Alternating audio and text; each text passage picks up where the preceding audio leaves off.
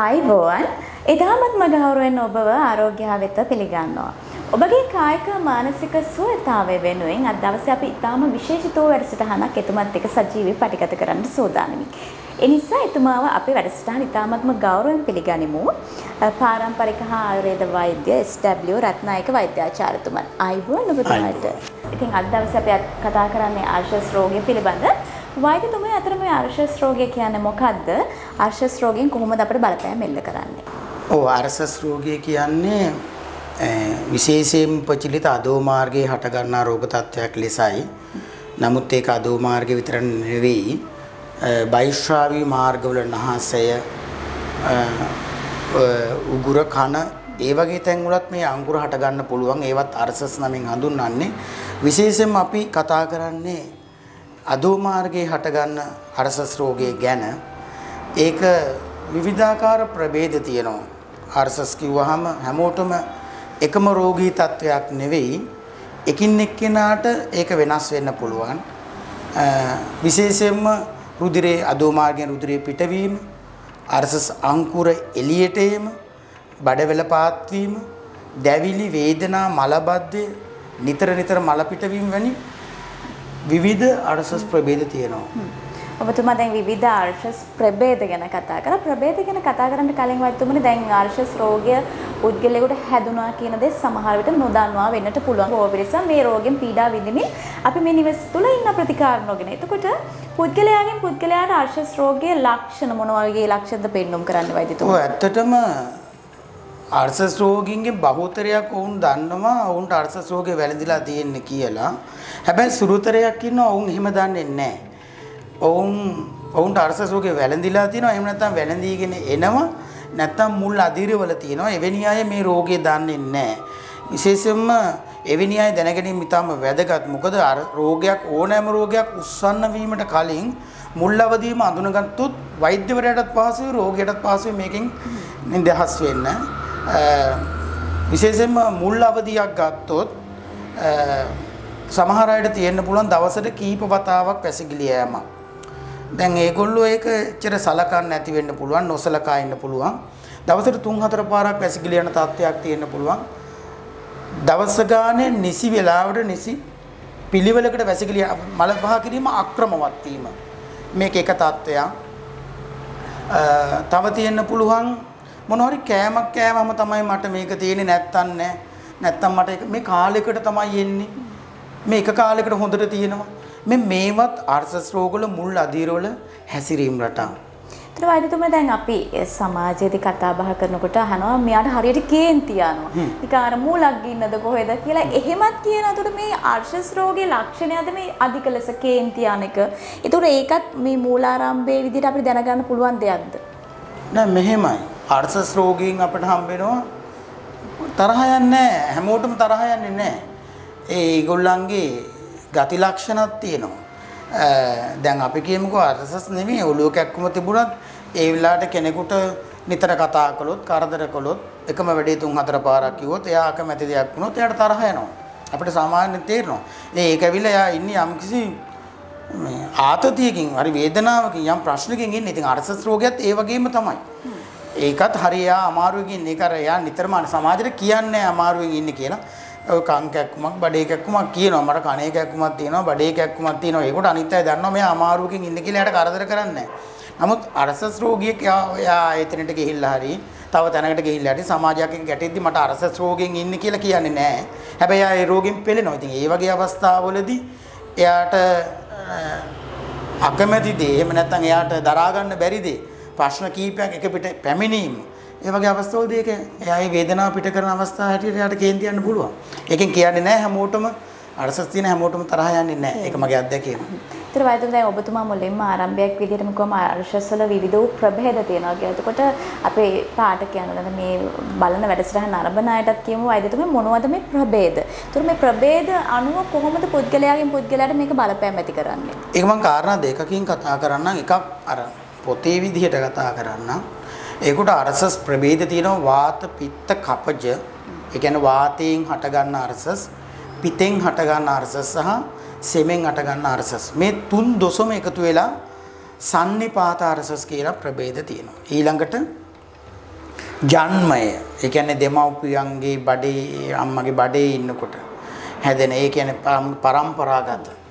ඒ ඒ වගේ අරසස් ප්‍රභේද තියෙනවා. ওই ප්‍රභේද බෙදනවා ආයුර්වේදයට අනුව කොටස් දෙකකට සුස්ක සහ ශ්‍රාව කියලා. ඒ කියන්නේ වියලි අරසස් සහ ශ්‍රාවී වැగిරෙන අරසස් කියලා. දැන් මම ඔගේ ප්‍රායෝගික පැත්තෙන් කතා කරනවා නම් දැන් අපේ රෝගීන්ට ඔක එච්චර තේරුමක් නැති නිසා විශේෂයෙන්ම සමහරුන්ට තියෙන්න පුළුවන් අදෝ මාර්ගයේ කසනවා. කැසීමක්. අරසස් ගෙඩි. සීදන් යනවා වගේ. ඒ කියන්නේ සෙවල වැగిරෙනවා වගේ. ඒක මෙයාට තියෙන්න පුළුවන් ආහාර අරුචිය එහෙම නැත්නම් බඩගිනි එන්නේ නැහැ නිසි වෙලාවට බඩගිනි එන්නේ නැති අවේලාවේ තමයි ආහාර ගන්න. අපි හවුතේම ඔයා උදේට කීයටද කන්නේ කියලා. ඒ කියනවා මම උදේ 10ට විතර කන්නේ කියලා. ඒකට අපි කියනවා දවල්ට දෙකට තුනට විතර. ඒකට අපි දන්නවා මෙයාට මේ ආහාර දිරවීමේ දුර්වලතාවයක් තියෙනවා. ඒ නිසා බඩගින්න එන්නේ නැහැ. මේකට ගොඩක් වෙලාවට අර වාපිස්සෙන් මුලින් සෙම මුල් වෙන්නේ. ඒකට ඒගොල්ලන්ගේ ඒ හැසිරීමත් ඒ වගේ ඒගොල්ලන්ට ගොඩක් වෙලාවට තියෙන ওই කැසීම අරස අංකුර ශ්‍රාවය ගැලීමක් වගේ නිකන් සීදන් යෑම කියලා ඒකට කියන්නේ එවැනි තත්ත්වයන් ඒ වගේ අපිට දකින්න පුළුවන්. අපි පිත් දෝෂයෙන් හටගත්තු අරසස් ගත්තොත් ගොඩක් වෙලාවට පිත කියන්නේ මේ සූර්යයට සම්බන්ධයි. උණුසුම ඇති කරන දෙයක්. ඒකට ඒගොල්ලන්ට අදෝ මාර්ගයේ දැවිල්ල, රුධිරේ වාහනය වීම, අරසස් මස් දළු වගේ කියන්නේ විශේෂයෙන්ම කපජාරසස් රෝගීගේ තරම් විශාලව පිත්ත ජාරසස් රෝගීගේ අංකුර ලොකුවට එන්නේ නැහැ. ඒකට දැවිල්ල මෙවැනි තත්ත්වයන් තමයි වගේ යට තියෙන්නේ. ඒකට අපි වාතජ එහෙම නැත්නම් වාතයෙන් හටගත්ත අරසස්වලදී විශේෂයෙන්ම මල බද්ධයේ තියෙන අධික ලෙස. විශේෂයෙන්ම අධික මල බද්ධයේ තියෙන ඔයගේ මරසස් අංකුර එන්න පුළුවන්. ඒ වගේ විවිධාකාර හැඩරුව තියෙන විවිධාකාර පාට තියෙන. ඒකට මේ වගේ ලක්ෂණ ගත්තොත් මූලික වශයෙන් මේ වගේ තමයි. ওই තුන් දොසින් හටගත්තු අරසස් වලදී ගොඩක් වෙලාට බුද බ්‍රාංශ කියන එහෙම නැත්නම් බඩවැල පාත් වීම අපි දකිනවා. ඒකරොත් වාපිස්සෙම් කියන දෝෂෙම එකතු වෙලා තමයි මේ රෝගේ හටගන්නේ. වෛද්‍යතුමනි දැන් රෝගෙක් වෙන මේ රෝගියෙක් ඇවිල්ලා ඔබතුමාට කියනවා මේ වෛද්‍යතුමනි මට ඉඳගෙන එක තැන ඉන්න බෑ රුධිරය පිට වෙනවා කියන. ඒතර මේ කොයි තරම් අවස්ථාවකට ඇවිල්ලාද වෛද්‍යතුමනි මේ රුධිරය පිට වෙන. අපි අහලා තියෙනවානේ සමහරවල් ගොඩ මාර්ගෙන් ගැටිති ඇවිල්ලා එළියට තියෙනවා.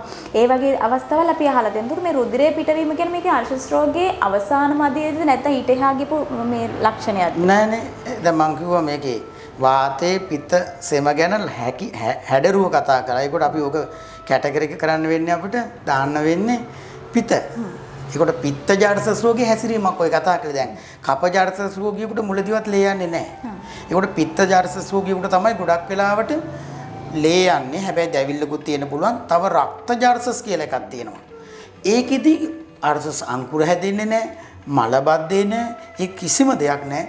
නිකම්ම රුධිරය පිට වෙනවා. ඒ රෝගියාට හරි සනීපයි රුධිරය යනකොට ඊට පස්සේ හරිම අමාරුයි රුධිරය ගිය නිසා හුස්ම ගැනීම අපහසු මේ වගේ තියෙනවා. ඉතින් දැන් ඔය මගෙන් ඇහුවා මේ ලේ යෑම මොන වගේ අවධියකද කියලා. දැන් උදාහරණයකට අපි කියමු වාතද පිච්චද කපජ ඔය මොන මාරි අවධියකදී මල පහ කිරීමේදී තැටමීමකින් අදෝ මාර්ගයේ තුවාල වීමක් හෝ අදෝගත සිරාවක් පිපිරීමෙන් රුධිරය යන්න පුළුවන්. ඒක මුල් අවධියේදී වෙන්නත් පුළුවන්. ඒක මේ වයසකටම ගිහිල්ලා මේ රෝගේ ගොඩාක් උස්සන්න වෙච්ච අවධියකදී වෙන්නත් පුළුවන්. නමුත් විශේෂයෙන්ම රක්තජ හා පිත්තජ කියන අරසස් රෝගවල තමයි රුධිරය වැඩිපුර ප්‍රහාණය වෙන්නේ. එතකොට මේ ආර්ශස් රෝගේ පුද්ගලයාගෙන් පුද්ගලයාට වෛද්‍යතුමනි බලපෑම් ඇති කරන ආකාරයන් වෙනස් වෙන්නට පුළුවන්. මට ඇති වෙන රෝග ලක්ෂණ තව කෙනෙකුට වෙනස් වෙන්නට පුළුවන්. සහ එතකොට ඒ අයට ඇයි මේ රෝගය හැදෙන්නේ? ඇත්තටම අපි මේ මොන හරි හේතුවක් තියෙන ආර්ශස් රෝගේ පුද්ගලයෙකුට හැදෙන්න. ඔය හොඳ ප්‍රශ්නයක් ඇහුවේ. ඇයි මේ හැදෙන්නේ කියලා. ඉතින් ඇත්තටම සමහරු හොඳටම පරිස්සම් වෙනවා. අපි ගාවට එන මේ හැමෝම මේ පරිස්සමක් නැති අය නෙවෙයි. සමහරු හොඳටම පරිස්සම් වෙලා කෑම ජීවිත රටාව හරියට පවත්වන්නේ නැහැ. නමුත් මේවා අපි තේරුම් ගන්න ඕනේ මේවා මහ රෝගයෝ. මහ රෝග 8ක් තියෙනවනේ. ඒකට අර්සස් බගන්දරා කියන මේ දෙකමත් මහ රෝග වලට අයිති වෙනවා. ඒකට ඒවා ඥාන වලින් එනවා. ඒ උන්ගේ දෙමව්පියන්ට, ඒ අයගේ પરම්පරාවට සමහරලාට අපි රෝගින් ගන්නවා වගේ අම්මා තාත්තට තියනවාද කියලා. ඒකට ඒ ගුරු කියනවා මගේ අම්මා තාත්තටත් නැහැ මගේ පවුලේ කාටවත් නැහැ කියලා. මං අහනවා ආච්චිලා සීලට. ආ ඒගොල්ලන්ට තියෙනවා. ඒකට මේක මේ රෝගේ එක එක පරම්පරාවලදී ඉහළ පහළ යන්න පුළුවන්. ඒ එක පැත්තක්. ඒකොට ඒක ජාන්න වලින්ම ආපු තත්ත්වයක්. තව තියෙනවා මව කුසේනුට ගත්තු ආහාර ජන්මය. ඒකට මව කුසේ ඉන්නකොට ගොඩක් දඩ අපි දන්නවා ඇඹුල් ಜಾති සැර ಜಾති හරි මේ ගන්නවා ගොඩක්. මේ මේ හේතු බලපාලා මෙන්න මේ කාරණා නිසා අර්සස් රෝගේ හට ගන්න පුළුවන්. ඒකොට ඒ කාරණා දෙකයි. ඊට අමතරව පුළුවන් එයාගේ ඇවතුම් පැවතුම් ආහාර රටා දැන් අපි දන්නවා දැන් තියෙන ක්‍රමවේදය ගොඩක් වෙලාට අර ආයතනයක් ගතත් අර ෂිෆ්ට් එකට වගේ 2යි 10යි 10යි 6 ඒ වගේ ඒකට වැඩපොලෙන් තමයි ආහාර දෙන්නේ. ඒකොට වැඩිපුර ප්‍රමාණයකට කෑම හදනකොට ඉතින් ඒවා ඉතින් නිසි ප්‍රමිතිය හදන්න බෑ. රසකාරක එකතු වෙනවා මේ වගේ දේවල් වෙලාවට නිදා ගන්න නැත් නිදා ගන්න වෙලාවට තමලට ඇහැරලා ඇහැරලා ඉන්නවට නිදාගෙන කෙටි කෑම කනවා උෂ්ණ අධික කෑම. ඉතින් මේ විසම තත්ත්වයක් මනුස්සයන්ගේ ජීවිත වල තියෙනවා. ඉතින් මේවත් අධික ලෙස බලපානවා මේ අරසස් රෝගය. ජන්මයෙන් ආපු නැතුව බාහිරව හටගන්නවා අතර වෛද්‍යතුමා ඔබතුමාර ආහාර ගැන කතා කරපු නිසා ඒ එතනට මම මේ ප්‍රශ්නය යොමු කරන්න බොහෝ වෙලාවට අර අපිට ලොකු කතා බහක් තමයි ෂණික කෑම නිසා මේ විවිධ රෝග හට ගන්නවා කියන දේ. උඩ මේ ආර්ශස් රෝගලා ඍජුව බලපානවද ડોක්ටර් මේ ෂණික කෑම වර්ග? ෂණික කෑම වර්ග විතරක් නෙවෙයි දැන් සමහර අය කියනවා මට ආර්ශස් තිබුණෙම නෑ. මට එහෙම දෙයක් තිබුණෙම නෑ මේ මට බබා හම්බෙන්න ආවම පස්ස තමයි මේ ලෙඩේ ආවේ කියලා. දැන් ওই බබාලා හම්බෙච්චි අම්මලට මේ කියදි තේරෙනවා ඌවනේ මටත් එහෙම තිබුණානේ කියලා. හේතුව හෝමෝන විපරීත වීමක් වෙනවා මේ ගර්භණී අවස්ථාවල කාන්තාවන්ට එක එක කාරණාවක්. මොකද අපි දන්නවනේ ඒගොල්ලන්ගේ ශරීරේ වෙනස් වෙන්න ඕනේ දරුවෙක් උපදින්න නම්. ඒකට ඒක බලපානවා අර්සස් වලට. ඒ වගේම අපි දන්නවනේ යකඩ පෙත්තක් දෙනවා පෝලික් ඇසිඩ් පෙත්තක් දෙනවා ඔය මල්ටි විටමින් මොනවා හරි පෙත්තක් දෙනවා මේ මේවා දීර්ඝ කාලිනව ගන්නකොට අපි විශේෂයෙන්ම දන්නවා යකඩ වලට බඩ වේලෙනවා. ඉතින් ඇත්තටම බටහිර වෙදකමේදී දැන් මේ දරු අම්මගේ ඒ පැත්ත විතරයි හිතන්නේ. ඉතින් ඒකට එයාට මලබද්ධය ඇති වෙන්න පුළුවන්. එයා දරු ගැබක් මාස 9ක් දරා සිටීමෙන් බර බර ඉසිලීම, බර දරා සිටීම මේක බලපාන්න පුළුවන් හෝමෝන විපරීත වීම. මෙවැනි කාරණා නිසා එක අවධියක් තියෙනවා අර්සස් රෝගය හට ගන්නවා. එතනදී දෙමෝපියන්ටත් අරසස් තිබිලා මෙයා නොදැන ඉඳලා මෙයාට මේ අවස්ථාවේදී වැඩි වෙලා ඊට එතනින් එහාට වැඩි වෙන්න පුළුවන්. තව කණ්ඩායමක් ඉන්නවා ඒගොල්ලන්ගේ પરම්පරාවටවත් කාටවත් නැහැ. මෙන්න මේ අවස්ථාවේදී විතරයි මේ රෝගේ හටගත්තේ. ඒගොල්ලන්ට ඒක ප්‍රතිකාර කළම සාය එන්නේ නැහැ. ඒ එක අවදියක්. දැන් කෑම බීම වලින්. ඔව් කෑම බීම ඔය කෙටි කෑම විතරක් නෙවෙයි. අන්නාසි අච්චාරු ඉස්ස දැල්ලු කෙලවල්ලු බලමු උෂ්ණ අධික කෑමත් මේකට හොඳ නැහැ. ඊළඟට රූක්ෂ ආහාර. ඒ කියන්නේ දැන් අපි කියමු වාත ජාරසස් රෝගියෙකුට නම් කොස් මෑකරල් කඩල වම්බටු වගේ වාතයේ උපදින රූක්ෂ ආහාර මගේ අදහස නම් බඩ වේලන කෙනෙකුට තඹු බිත්තර, පොල් සම්බෝල, සුදු කැකුළුහල් මේ මේ වගේ වත් එයාට වාත ජර්සස් රෝගයක් තියෙන්නේ. එයාක් දන්නේ නැතුව කන්නේත් මේවමයි. ඒකට එයා කියනවා මම නම් ওই උෂ්ණ ජාති කිසි දෙයක් කන්නේ නැහැනේ. ඒත් මට අර්සස්ද කියලා. ඇත්තටම මෙයා මේ කාලා තියෙන්නේ මෙයාට හොඳ නැති කෑම. ඒකට වාත ජර්සස් රෝගියාට ඒ කෑම උනාට කපජාඩසස් රෝගියාට හොඳ නැත්නම් වෙනත් කෑම වෙන්න පුළුවන්. ඒකට ඒකට දැන් ඔබතුමිය ඇහුවා මේ කෙටි කෑමද කියලා. ඇත්තටම අපිට ඒකට පේනවා කෙටි කෑමම නෙවෙයි නුසුදුසු ආහාර පුද්ගලයාට අනුව නුසුදුසු ආහාර තමයි මේකට බලපාන්න ගොඩක් වෙලාට. ආර්ශස් රෝගයක් හැදුන කෙනෙක් හිතනවා මට ලැජ්ජයි මේක පෙන්වන්න බෑ අනේ නොහි කාලයක් ඉන්නවා නෝක යටපත් වෙලා යයි කියලා ඔහොම සමහර අය හිතාගෙන ඉන්නවා. ඒතර වෛද්‍යතුමනි දැන් බොහෝ අය ප්‍රතිකාර ක්‍රම වලට යොමු වුණා తాවකාලික ප්‍රතිකාර ක්‍රම හරහා මේක සුව කරගන්නත් බලනවා. නමුත් ආයුර්වේදය හා මේ පාරම්පරික වෛද්‍ය ක්‍රමය තුල ආර්ශස් රෝගේ නිට්ටාවට සුව කරන්නට පුළුවන්ද? එහෙම පුළුවන් නම් වෛද්‍යතුමනි මොනවද කරන්න පුළුවන් ප්‍රතිකාර සහ අපි මේ ප්‍රතිකාර වලට යොමු යුතු පළමු අවස්ථාව කොයි වගේද? දැන් මෙහෙමයි. දැන් ඔබතුමිය කිව්වා සමහරු අත් බෙහෙත් කරගන්නවා කියලා මම ඒක සතුටුයි. ඇත්තටම හැමෝටම මේ අපේ රටේ තියෙන තත්ත්වයන් එක හැමෝටම ප්‍රතිකාරයක් ගන්න අමාරුයි. ඒ තියෙන ආර්ථික ප්‍රශ්නත් එක්ක අමාරුයි. ඉතින් ඒකට පව් ඒගොල්ලෝ. ඒකට ඇත්තටම අපි අනිත් පැත්තෙන් තේරුම් ගන්න ඕනේ මේ රෝග මේ මේ මේ මේ උණක් ගැනුණා බිරිසාවක් හැදුණා වගේ තත්ත්වයක් නෙවෙයි මේ රෝග වලට ප්‍රතිකාරයක් නිසි ලෙස නොගත්තොත් මේ රෝග තත්ත්වය වර්ධනය වෙනවා. මේ රෝග තත්ත්වය වර්ධනය වුණොත් මේ රෝගයෙන් තවත් රෝග හට ගන්නවා. රෝගිකින් රෝගයක්. දැන් උදාහරණයකට අර්සස් රෝගයට නිසි ලෙස ප්‍රතිකාර නොගැනීම තුල අර්සස් රෝගය අවසන්න වෙලා, gediy එළියට ඇවිල්ලා බඩවැල් පාත් වීම, රුධිරය වාහනය වීම ඒකේ අර්බුද දක්වා පැතිරිල්ලම ගෙඩි එළියට ඇවිල්ලා ඒව ඇතුළට යන්නේ නැති තත්ත්වයට ඝන වීම gadu කියන මට්ටමටපත් වීම වෙන්න පුළුවන්. ඒ විතරක් නෙමෙයි බගන්දරා කියන රෝග තත්ත්වයට මේ අර්ථස් රෝගයට නිසිලෙස ප්‍රතිකාර නොගත්තොත් බගන්දරා රෝගයට අතවැනීමක් වෙනවා. ඒකට බගන්දරා කියන රෝගය හැදුනොත් අර්ථස් රෝගයටත් වඩා ඊටාම දරුණුයි. ඒක හොඳ කරන්න අර්ථස් වදා පහසුවෙන් බෑ. ඒකට ඊට වඩා ගොඩක් කාලය ගත වෙනවා. ඒ වගේම රෝගයට ගොඩාක් වේදනාවක් විඳින්න වෙනවා. ඉතින් මගේ අදහස නම් ඔබට දැන් අර මම කිව්ව මුල් ආකාර දේවල් ඒ කියන්නේ දවසට කීප වතාවක් වැසිකිලි යෑම නිසි වෙලාවට මල පහ කරන්න බෑ ඒක අක්‍රමවත් අද උදේට යන්නේ හෙට යන්නේ ආය අනිද්දා යන්නේ. මොන හරි කෑමක් කෑවොත් තමයි මට මේ වැඩේ වෙන්නේ නැත්තම් සමාජ දවසට බොහොම හොඳයි. මේ මේ වගේ මුල් අවදි තියෙනවා නැත්නම් අදෝ මාරි මම කොච්චර පණු බෙහෙත් ගත්තත් මට කසනවා. කොච්චර සමහරු කියනවා අපි මාසෙන් මාසෙ පණු බෙහෙත් ගත්තත් කහනවා. මෙවැනි තත්වයන් සීදන් යෑ මේ කියන්නේ මල පහ සමග සොටු දීර වගේ සීදන් යෑමේ තත්ත්වයන් තියෙනවා නම් සමහර වෙලාවට අදෝ මාර්ගයේ දැවිලි හට ගැනීම, ගුද මාර්ගයේ කෙලවල පැලීම මෙන්න මෙවැනි කාරණා තියෙනවා නම් මම කියන්නේ ප්‍රතිකාර ගැනීම ඊටාම නුවණක්කාර දෙයක්. මොකද මේ தত্ত্বය ටික ටික ටික ටික ටික ටික වැඩි වෙනවා. ඒ වගේම අර්ථස් රෝගයක් හටගත්තයින් පස්සේ හටගත්තයින් පස්සේ කොච්චර පරිස්සම් වුණත් ඒක හොඳ වෙන්නේ නැහැ. යම් පාලනයක් වෙයි. කරන්න බෑ කියන ඔබතුමා කියන්නේ. මම ඒකට එන්නම්. මේ අර්ථස් රෝගයට හැදුනන් පස්සේ අර කෑම බීම පරිස්සම් වුණා කියලා රෝගය සුව වෙන්නේ නැහැ. යම් පාලනයක් වෙයි. දැන් ඔබතුමිය ඇහුවා මේ නිට්ටාවට මොහොත කරන්න බැරිද කොහොමද ඒ ගැන විස්තරයක්. ඒකත් අර වගේම තමයි දැන් මම කිව්වා අර ගර්භණී අවස්ථාවකදී හටගන්න අරසස් රෝග සමහර ඒවා ස්වභාවිකම හොඳ වෙලා යනවා. ඒක යම්කිසි හෝමෝන විපරීත වීමකින් තමයි හටගත්තේ. ඒකට මේකේ යම් යම් අවදි තියෙනවා. දැන් උදාහරණයකට අම්මටයි තාත්තටයි දෙන්නටම අරසස් රෝගේ තිබිලා දරුවට වැළඳුනොත් ඒ දරුවට මේකෙන් පීඩා විඳින තියෙන වැඩි ප්‍රමාණයක් පීඩා විඳින්න වෙනවා. ඔහුට සුව වෙන්න පුළුවන්. ආය කාලෙකදී මේ රෝගය හට ගන්න පුළුවන්. ආය වෛද්‍යවරයෙක්ගෙන් ප්‍රතිකාර ගන්න වෙයි. මොකද අම්මා තාත්තා දෙන්නටම දිනකොට මේක දෝෂ තත්ත්වය ඊටාම බරපතල විදිහට තියෙනවා. ඒ වගේම අම්මා තාත්තා දෙන්නගෙන් තාත්තට තියෙනවට වඩා අම්මගෙන් නම් හැදුනේ තියෙන රෝග තත්ත්වයේ සූකරණ තියෙන කාලයත් අඩුයි. ඔහුට වරින් වර හට ගන්න ප්‍රමාණය ළඟ ළඟ හැදෙන්නේ ඒකොට තව කෙනෙකුගේ ආහාර රටාවත් එයාට පාලනය කරගන්න බෑ. එයා වැඩපොලෙන් කෑම කන්නේ. දැන් කොළඹ කොහේ හරි ඇවිල්ලා ඉන්නේ නුවර ප්‍රදේශක කෙනෙක්. එයාගේ ඒ වගේ දේවල්. ඒකට එයාගේ ශරීරය පුරුදු වෙලා තියෙන එක්තරා පරිසරයකට. දැන් ඉන්නේ තවත් පරිසරයක. එයා පුරුදුනේ වෙනම ආහාර රටාවකට. දැන් තියෙන වෙනමම ආහාර රටාවක. ඒ ආහාර රටාව මේ රෝගෙට කොහෙත්ම උචිත නැහැ. මෙවැනි අයට කොච්චර ප්‍රතිකාර ගත්තත් වරින් වර මේ රෝගේ හට ගන්න පුළුවන්.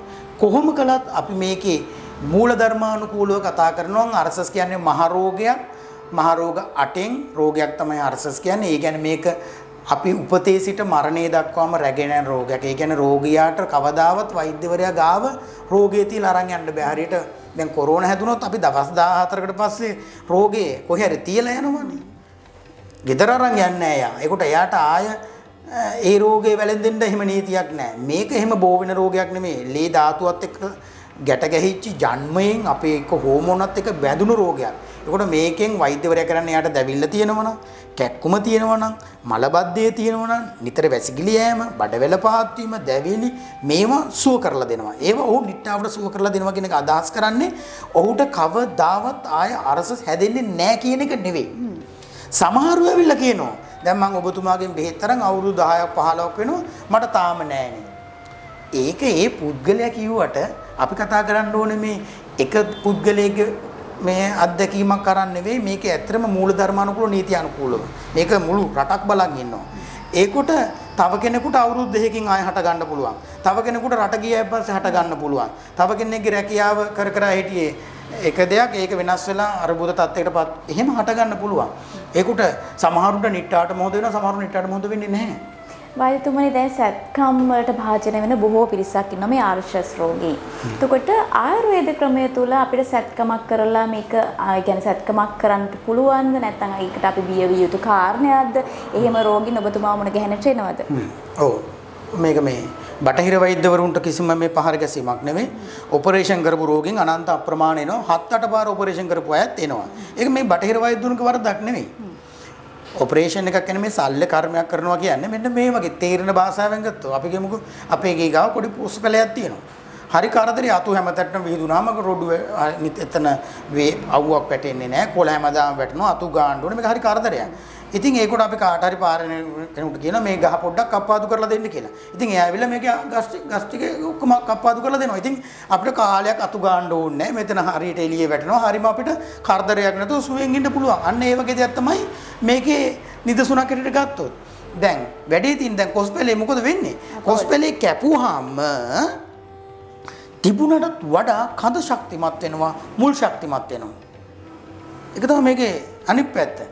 හැබැයි අපිට දැන් බාහිරව ප්‍රශ්නයක් නැහැ. හොඳට වැසිකිලි යනවා, ගෙඩි පේන්න නැහැ, වරින් වර මල පිට වෙන්නේ නැහැ, දැවිලි නැහැ, කැක්කුම් නැහැ. එහෙම දෙයක් තියෙනවා. හැබැයි අපි හිතුවටත් වඩා රෝගය ඇතුලෙන් අපි නොදැනුවත්ව අපව රැවටීමක් තුලින් රෝගය තවත් හොඳට අපි කියන්නේ හොඳට ඒක ශරීරයේ මේ නිදන්ගත වෙලා තියෙනවා. ඒකට දැන් අපි ගහේ මුලට උණු වතුර ටිකක් දාලා මුල් ටික කපලා එහෙම දෙයක් කළේ නෑනේ. අපි ගලේ බාහිරව තියෙන දෙයක් අපි නැති කරා. ඒකට මේක වෙන්නේ ඊළඟ පාර අර අතු එකක් කපපු තැනින් අතු එකලි තුනක් දාන්නේ ගහක. ඒ වගේ මේ රෝගේ ඊට වඩා දෙගුණයක විතර අ, නැත්තම් තෙගුණයක් විතර ප්‍රමාණයකින් මේක වැඩි වෙනවා. ඒකට එයාට පුරුදු වෙලා තියෙන ආය ඔපරේෂන් කරන්න නම් එයා ආයෙ ගිහින් ඔපරේෂන් කරනවා. ඒකට මේක තමයි රටාව. මේක තමයි ශල්්‍ය චිකිත්සාවේ රටාව. ඒකට මේකේ තියෙන අර්බුදත් ඒකේ තියෙන අහිතකර බලපෑමුත් අනිවාර්යයෙන්ම කතා කරන්න ඕනේ අත්දැකීම් තියෙන නිසා සමහරු අපි ගාවට එනවා බගන්දරා රෝගීන්. මේ බගන්දරා කියන්නේ අදෝ මාර්ගයේ සිදුරකින් ඇතුළෙන්ම හැරිලා රුධිරය මේ නරක් වෙලා සට්ටමෙන් හෝ ඉකිලියකින් හෝ බුද්ධ මාර්ගයේ ආසන්නෙන් හෝ සැරව ගලන අ, තත්ත්වයක් වන තත්ත්වයක් මේකට බගන්දරා කියන මේක ඊටාම් බරපතල තත්ත්වයක් මේක කොච්චර බරපතල කියනවා නම් අ, ආයුර්වේද පොත්පත්වල ඒ කියන්නේ පැරණි පොත්පත්වල කියනවා මේක සුව වෙලා වසරක් යනකම්. අසේගේ පිටේ ඇතෙක්ගේ පිටේ ස්ත්‍රියක් ගාවකට යවන්න එපා වසරක් යනකම් මේ රෝගියව කියලා. ඒකට හිතා ගන්න පුළුවන් හොඳ වෙලා වසරක් යනකම් එහෙම යවන්න එපා කියන මේ රෝගේ කොච්චර බරපතලද හැබැයි මම මේ රෝගය මේ ඔපරේෂන් කරන එහෙම නැත්නම් මේ සල්ල චිකිත්සා තුලින් හට ගන්න හැටි පෙන්න පෙන්ලා දෙන්නම් අපි දැන් මේකේදී අර අරසස් ගෙඩි කපනකොට එතන තුවාල වෙනවා ස්වභාවික තත්ත්වේ නැතුව යනවා. ඒකට සමහරවිට මේ තුවාල සුව වෙන්න කල් ගත වෙනවා මල මාර්ගයක තියෙන්නේ. එතන විස බීජ බැක්ටීරියා, වෛරස් ඒ වගේ දේවල් තියෙනවා විශේෂම බැක්ටීරියා. ඒකට මෙතනින් මේක තුවාලය නරක් වෙලා මේ බගන්දරා හට ගන්න තත්ත්වයන් තියෙනවා. බලන්න දැන් අර සල්ල චිකිත්සාවකින් අරසස් ගෙඩියක් අයින් කරගන්න කියලා දැන් බගන්දරා තත්ත්වයක් වෙච්ච රෝගින් අපි ගාට ඇවිල්ලා තියෙනවා. මට මේ ඔපරේෂන් එකක් කළා ඊට පස්සේ තමයි මේක ආවේ කියලා. දැන් ආයුර්වේදයේ ක්‍රමයට මෙතෙන්දි කරන්නේ මෙහෙමයි. අර්සස් ගෙඩියක් තියෙනවා අපි ඒක බලනවා නිර්ණය කරලා එයාගේ රෝගියත් එක්ක සාකච්ඡා කරලා වඩ හැදිලා කොච්චර කාලද ගොඩක් වෙලාවට වසරකට මෙහා වසරක් ඇතුළත අර්සස් රෝගියක සුව කරන්න ඉතාම පහසුයි. ඒක හරියට මේ පොඩි තනකොළයක් වගේ අපි ඇඟිලි දෙකෙන් අල්ලලා ගලවුවේ හැකි. අපිට පුළුවන් කොස් ගහක් ගලවන්න ඇඟිලි දෙකෙන් අල්ලලා. කොස් පෙලයක් පුළුවන් චූටි පෙලයක් ගලවන්න. නමුත් අරක බෑ. ඒක දැන් වැඩිලා. එයා දැන් මේකට ගොඩක් අවතීර්ණ වෙලා. ඒකට සිද්ධ වෙනවා අපිට සමහරවිට එයාගේ ශරීරයට කඳට බෙහෙත් දෙන්න වෙනවා. එයාගේ ස්ථානයට තෙල් වර්ග එහෙම නැත්නම් ගාණ්ඩ ඒ වගේ දේවල් කරන්න වෙනවා. ඒ කියන්නේ gediya හකුලවන්න. ගෙඩි වැටෙන්න. අදෝ මාර්ගයේ තුවාල තියෙනවා ඒවා සුව වෙන්න. එයාගේ ජීර්ණ පද්ධතිය දුර්වල කෙනෙක් නම් ඒකෙන් නම් මේක හටගත්ත ජීර්ණ පද්ධතිය හදන්න. මේ වගේ වෛද්‍යවරට ලොකු පරාසයක වැඩ කරන්න සිද්ධ වෙනවා රෝගියාව අඳුනගෙන රෝගයට අනුව. ඒක තමයි දේශීය වෙදකමේ තියෙන එහෙම නැත්නම් පාරම්පරික වෙදකමේ තියෙන එක ක්‍රමයක්. ඒක තියෙන අ, සාර්ථක ක්‍රමේ තමයි අතුරු ආබාධ ඉන්නේ නැහැ. කැපිලි කැටිලි කරන්නේ නැහැ. ඒක නිසා ඒකේ අතුරු ආබාධ අඩුයි. වෛද්‍යතුමනි ඔබතුමා දැන් මේ පැහැදිලි කිරීමක් කරා මේ බගන්දරා රෝගය ගැන මේ අර්ශස් එකේ අර්බුදයක් විදිහට. එතකොට ඔබතුමා මේ බගන්දරා රෝගයටත් ප්‍රතිකාර කරනවද? එහෙන් ප්‍රතිකාර කරනවා නම් කොහොමද ප්‍රතිකාර කරන්නේ? ඔය ඇත්තටම අර්සස් රෝග විතර ප්‍රතිකාර කරලා බෑ අර්සස් එක්ක බගන්දරා තියෙන දෙකමත් එක්ක රෝගීන් අපි ගාවට එනවා. අපි මුලින්ම ඇත්තටම කළේ අර්සස් රෝගයට විතරයි ප්‍රතිකාර කළේ බගන්දරා රෝගයට ප්‍රතිකාර කළේ නැහැ. නමුත් අරස සහ බගන්දරා දෙක වෙනකොට අපිට සිද්ධ වුණා මේ බගන්දරා රෝගයට ප්‍රතිකාර කරන්න.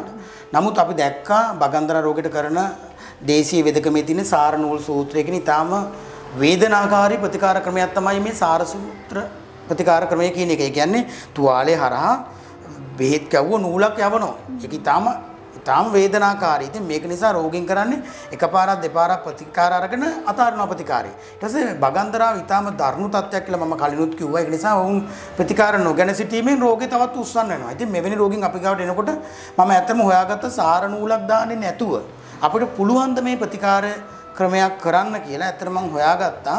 බෙහෙතක් අපි මේ බෙහෙත් එක දාන බඳිනවා මේ බගන්දරට බැඳාම ඒකේ කුණ කැපිලා ඔක්කොම සැරව ඇදිලා එනවා. නෑ එහෙම නැත්නම් අපි තෙලක් දානවා. ඒ දෙකෙන්ම කරන්නේ තුවාලය අපි අර සාර නූලකින් දාලා සුද්ධ කරන එක අපි සාර නූලක් නොදා බෙහෙතක් බැඳීමෙන් හෝ තෙලක් ඇතුල් කිරීමෙන් සිද්ධ කරනවා. ඊළඟට අපි දෙනවා ආය තෙල් එකක් මේ රෝගියාගේ තුවාලේ වේලෙන්න. සහ එයාට අවශ්‍ය කසාය බොන්න. ඒකට මේ ක්‍රමයේ තුල රෝගියා වේදනාකාරී තත්ත්වයට පත් වෙන්නෙත් නැහැ. රෝගියා සුවේ නොලබ මගද නතර වෙන්නෙත් නැහැ. සුවේ ලබාගෙන තමයි නතර වෙන්නේ. ඉතින් ඒ ක්‍රමේ ඊටම සාර්ථකයි කියලා මට හිතෙනවා මේ ප්‍රතිකාර ගන්න ගමන් අතහැරලා යන රෝගීන්ට. වෛද්‍යතුමනි දැන් බොහෝ අය ඉන්නවා මේ රෝගයක් තියාගෙන තමගේ නිවසේ මේ වැඩසටහන බලන අය. එතකොට මේ බොහෝ පිරිසක් පීඩාවෙන් පත් වෙලා ඉන්න රෝගයක් නිසා ආර්ශස් රෝගීන්ට පොදුවේ අපිට දෙන්න පුළුවන් උපදෙස් මාලාවක් ඔබතුමා සතුව ඇති. අපි ඒකත් කියමු වෛද්‍යතුමනි. මම විශේෂම කියනවා අපේ වෛද්‍ය ක්‍රමය ගැන විශේෂ වෙනස්ම වූ වෛද්‍ය ක්‍රමයක් තමයි අපි මෙතන භාවිතා කරන්නේ. මේක මගේ පියා තමයි මුලින්ම මෙතන ප්‍රතිකාර කළේ. ඔහුගේ තිබුණා මේ සාර සරස පුටක් පාක කියන වෙදකමක්. ඒක ඇත්තටම මෙන්න මේ වගේ වෙදකමකින් අපි මේ ප්‍රතිකාර කරන්නේ. උදාහරණයක් හැටියට මේකට බොහෝ බෙහෙත් වර්ග අපි ගන්නවා. කොහිල, ගොටුකොළ, හීම්බෝ විටියා, ඒ වගේ මේ වැටකෑ බොඩ මේ වගේ ගොඩාක් ඔය ඇටි කෙහෙල්ලාලා මේ වගේ බෙහෙත් වර්ග අරගෙන අපි මේක වතුර නොදා කොටලා පුච්චලා ඒකෙන් ගන්න ඉස්මක් තමයි රෝගීන්ට හිස් බඩ බොන්න දෙන්නේ කිතුල් ලකුණු 250ක් එක්ක. මේක බීලා පෑයටක් මේ රෝගියා ඉන්න ඕනේ. ඊට පස්සේ පෑයටට පස්සේ අමුහාල් මැස්ස කිරට වෙලා කෑමට ගන්න ඕනේ. ඒකට බලන්න මේ ප්‍රතිකාර ක්‍රමය හරිම වෙනස්. අපි මේකෙන් අර අදෝ මාර්ගයේ තියෙන ගෙඩි ඔක්කොම පරහු කරලා හාල් මැස්සන්ගේ කටු වලින් මේ ගෙඩි ටික කඩනවා. ඒකට ඒක ඒ බෙහෙතෙම තියෙනවා කැඩිච්චි ගෙඩි තුවාල වෙච්ච හොඳ කරන ක්‍රමයකුත්. ඒකට මේ පාරම්පරික වෙදකම කොයිතරම් දියුණු මට්ටමක තියෙනවද? ඇත්තටම අපි මෙවැනි ප්‍රතිකාර ක්‍රමයක් තමයි අපි අනුගමනය කරන්නේ එන රෝගීන්ට මූලික ප්‍රතිකාරය හැටියට අපි එතනින් එහාට තමයි රෝගයාගේ දෝෂ තත්ත්වය අඳුනාගෙන දෝෂිත අනු ප්‍රතිකාර කරන්නේ. ඔබතුමී තව මගෙන් ප්‍රශ්නයක් ඇහුවා? උපදෙස් මාලාවක් දෙන්න පුළුවන්ද ඔව්. කියලා. උපදේශ මාලා දෙන්න ඕනේ ඇත්තටම. මොකද හැමෝටම අපි ගාවට එන්න බෑ. සමහරු ගොඩක් දුර ඉන්නවා සමහරු දුර හිටියත් වෙනවා සමහරුට එන්න හැකියාවක් නැහැ එක එක පුද්ගලයාට. නමුත් අපි පොදු උපදේශ මාලාවක් දෙන්න කැමතියි විශේෂයෙන්ම මම දැන් රෝග මේක කාණ්ඩ කීපයකින් කතා කළා. වාතයෙන් පිතෙන් සෙමෙන්. දැන් ඔබ දැන් මම ඒව නැවත මතක් කරන්න යන්නේ නැහැ මම ඒ කාණ්ඩ වලට අනුව කියන්නේ දැන් ඔබට සෙමෙන් හටගත්තු අරසස් රෝගියෙක් තමයි මම අර කිව්වේ. ඔබට මතකයි කැසීම අර ගෑස්ට්‍රික් තත්ත්වයේ තියෙන කෑම අරුචිය බඩගිනි එන්නේ නැහැ වෙලාවට යන්නේ නිතර නිතර මල පිටන මෙවැනි තත්ත්වයේ රෝගියෙක් තේරුම් ගන්න එයාට අග්නිමාන්දය කියන තත්ත්වය තියෙනවා. ආහාර දිරවන්නේ නැහැ අග්නිය දුර්වලයි. ඒ කියන්නේ ගින්න දුර්වලලා තියෙන්නේ. එහෙනම් තව දුරටත් දිරවන්න බැරි කෑම වලට යන්න එපා. කොස් වගේ කෑම. ඒ වගේ දිරවන්න බැරි කෑම කියන්නේ සෙම වැඩිපුර වඩන කෑම වලට කෑම දිරවීම අඩු කරනවා. පරිප්පු අල ඒ වගේම කංකුම් වගේ දිරවන්න බැරි දේවල්. දිර ඇට ಜಾති මේ වගේ දිරවන්න බැරි ආහාර වලට යන්න එපා. මේ සෙම බහුල. සෙම කියන්නේ හිබ්‍රිස්සාවට නෙමෙයි අපි. ඇඟේ සෙම තත්ත්වය. මෙවැනි අර රෝග ලක්ෂණ මම කලින් මතක් කළා. එවැනි රෝගීන් යන්න එපා. දිරවන්න බැරි කෑම වලට. කිරි බොනවා නම් ඒ වගේ දේවල් නතර කරන්න අනිවාර්යයෙන්ම ඒ වගේ පණු බෙහෙත් වෙලාවට බොන්න ඒ වගේ දේවල් කියන්න ඕනේ අනිවාර්යයෙන්ම විශේෂයෙන්ම වෙණි අය කන්න වතුර බීලා කන්න එපා කන අතරේ වතුර බොන්න එපා කාලි විරිච ගම වතුර බොන්න එපා පුළුවන් නම් විනාඩි 30ක් 40ක් විතර ඉඳලා උණු වතුර එකක් බොන එක තමයි වඩාම සුදුසු. මොකද මේ ජීර්ණය හොඳට උණෙන් පස්සේ තමයි වතුර වැඩිපුර ගන්න ඕනේ කියලා තමයි මගේ අදහස. මොකද ඒගොල්ලන්ට මේ පොදුවේ කිව්වට එකින් එක්කනට වෙනස් ඒකට යාට පුද්ගලික උපදෙස් දෙන්න වෙන අවස්ථාවක් තියෙනවා. විශේෂයෙන්ම වාතයේ වගේ බඩ වේලීම තියෙනවා. කොච්චර බෙහෙත් ගත්තත් හරියන්නේ නැහැ. බෙහෙත් බොනකන් විතරයි. ආය බඩ වේලෙනවා. වාතිජ අරසස් රෝගේ නම් තියෙන්නේ. ඒක කොයිතරම් දුරට අඳුන ගන්න පුළුවන්ද? රෝගියාට කියන එක ප්‍රශ්නයක් තියෙන්න පුළුවන්. එවැනි කෙනෙක් නම් මම කියපු ලක්ෂණ අනුව එයාට එයාට තෝරගන්න පුළුවන් නම් විශේෂයෙන්ම ඇට වර්ග කන්න එපා.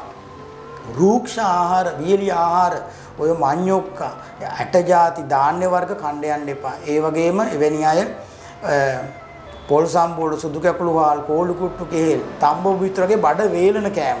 ඒ කියන්නේ අපි අතට ආහාරයක් අරන් ආහාර අරගෙන අපිට අත හොදන්න විනාඩියක් හරි පරක් වුණොත් අත ගල් වෙනවා නම් එවැනි ආහාර ගන්න යන්න එපා. කෙන්දි බහුල ආහාර ගැනීම ඉතාම වැදගත්. මම කෙටියෙන් මේ කතා කරන්නේ කාලය අඩු නිසා. ඒ වගේම පිත්ත ජාරසස් එහෙම නැත්නම් රක්ත ජාරසස් මේ දෙකම ළඟින් යන්නේ. ලේ වැගිරීම, දැවිල්ල, දාහය, දාඩිය දානවා මේ වගේ උෂ්ණාධික ශරීර. එවැනි අය උෂ්ණාධික ආහාර වලින් වැළකෙන්න ඕනේ. විශේෂයෙන්ම අන්නාසි අච්චාරු ඉසදැල්ලු, කේලවල්ලු, බලමාළු, දෙල්ලු, උරුංග, කිරියල ඒ වගේ උෂ්ණාධික ආහාර වලින් වළකින්න ඕනේ. ඉතින් රෝගීන්ගේ ආහාර විහරණ රටාවකුත් තියෙනවා. ඉතින් අවුවේ ලේ යන කෙනෙක් අවුවේ පෝරුණුවක් ගාව අධික වෙහෙස නිදි මැරීම මෙවැනි කාරණා ගොඩක් ඉතින් තියෙනවා. වෛද්‍යතුමනි අවසාන වශයෙන් මම මේ ප්‍රශ්න ඔබතුමාගෙන් අහන්නේ බොහෝ අය දැන් ඔබතුමා මුණ ගැහෙනට බලාගෙන ඉන්නවනේ බොහෝ අය දුරකථන ඇමතුම් ලබා දෙනවා. එතකොට ඔබතුමා මුණ ගැහෙන්න පුළුවන් කොයි තැන්වලදීද, කොයි වගේ අවස්ථාවලදීද, කොයි වගේ දවස්වලදීද? ඔව්. මං ස්ථාන දෙකක ප්‍රතිකාර කරනවා. උඩුගම්පල සහ දෝම්පේ. උඩුගම්පල කියන්නේ මේ ස්ථානෙ ප්‍රතිකාර කරන්නේ බදාද සෙනසුරාදා උදේ 8 ඉඳලා හවස 6 වෙනකන් සතියට දවස් දෙකයි. දොම්බේ ප්‍රතිකාර කරන්නේ ඉරිදා දවල් 12 ඉඳලා රාත්‍රී 8 වෙනකන්. එතන දොම්බේ පොලිසියත් එක්කමයි තියෙන්නේ. ඒ කෙනෙකුට ඉරිදට එන්න පුළුවන්. ඇත්තටම මම සතියට දවස් 3යි කරන්නේ. මොකද අපි මේ සරසයක් දෙන්නේ බෙහෙත් හදා හදා තමයි රෝගීන්ට දෙන්නේ. මේ අරිෂ්ඨ ආසව ඒ වගේ ප්‍රතිකාර නෙමෙයි අපේ බෙහෙත් කල් තියාගන්න බෑ. ඒ හදපු බෙහෙත් එක පවා ගෙනිච්ච ගමන් සීතකරණ තියාගන්න කියලා තමයි උදේ පාන්දරන් රත් කරලා බොන්න කියලා තමයි දෙන්නේ. ඉතින් සතියට දවස් 3ක් ප්‍රතිකාර කරනවා මේ ස්ථාන දෙකේ.